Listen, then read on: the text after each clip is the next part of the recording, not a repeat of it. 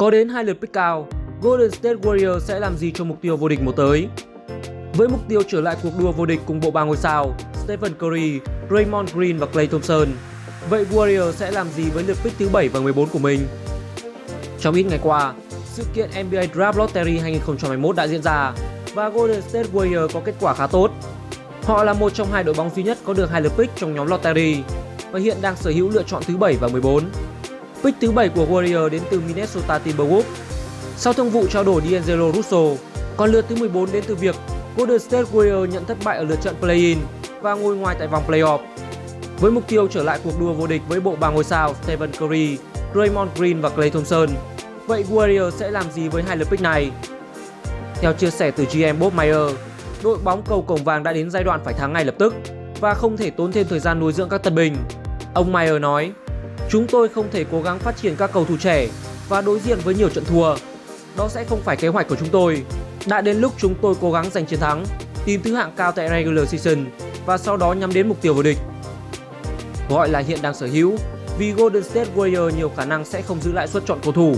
Thay vào đó, họ sẽ có thể chết chúng để tìm những mảnh ghép chất lượng hơn để đặt vào bộ khung có sẵn.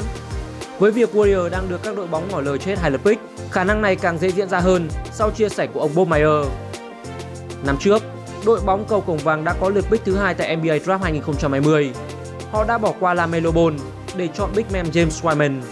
Ban đầu, đây là lựa chọn hợp lý vì Warriors đang có lỗ hổng rất lớn ở vị trí trung phong, đồng thời không thể hy sinh quá nhiều số phút thi đấu của Stephen Curry để chưa cho LaMelo, một PG tân binh của giải.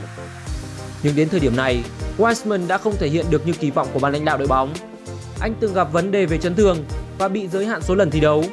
Đến lúc ra sân, James lại thường xuyên vướng vào foul trouble vì di chuyển có phần kém linh hoạt và dễ bị khai thác.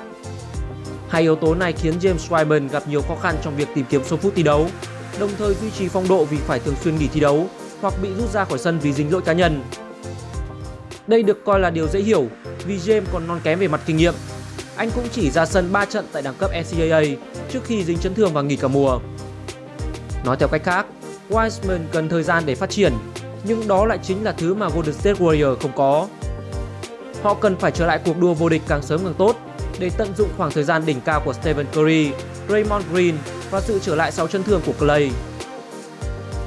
Theo một số nguồn tin, James Wiseman đã được Golden State Warriors cân nhắc gắn kèm với hai lượt pick vào năm 2021, đặt cả ba lên bàn trao đổi. Với việc NBA Draft 2021 sẽ có rất nhiều tài năng nổi trội, chuyên gia đánh giá rằng Golden State Warriors có thể thu hút rất nhiều lời đề nghị vì đang nắm trong tay gói cầu thủ chất lượng.